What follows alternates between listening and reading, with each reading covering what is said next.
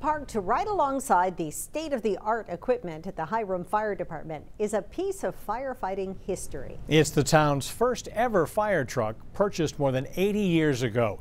While today's volunteer firefighters no longer use it to fight fires, Hiram's vintage fire truck is just as essential as ever. News Center Maine's Shannon Moss explains. This is the original lettering.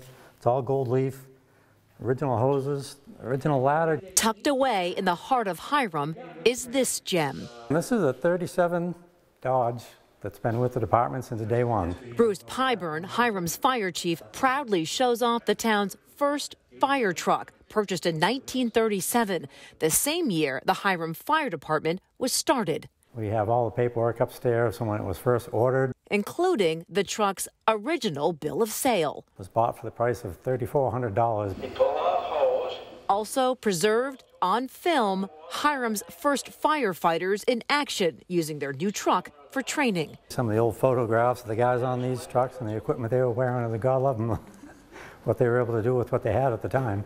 This fire truck ran calls until 1983. It was a working fire truck for 50 years, so pretty cool. A truck that played a part in Maine history, helping to fight the wildfires of 1947 that destroyed a quarter of a million acres and wiped out entire towns. This thing pumped water day and night for days on end from the Saco River. I think it's no exaggeration to say that this is responsible for not losing houses in town. Nothing in the village was lost in that fire. As you can imagine, this fire truck is pretty special to the town of Hiram. We wanted to do something to preserve it. We found that one of the premier restoration outfits is right here in the state of Maine. The recommendation, not a total rehab, just a touch-up and a once-over of the mechanics. When he ever showed it to us, I was just amazed. We was able to clean it, sand it, and clear coat it to uh, bring it back to shine like it probably hasn't since the 40s.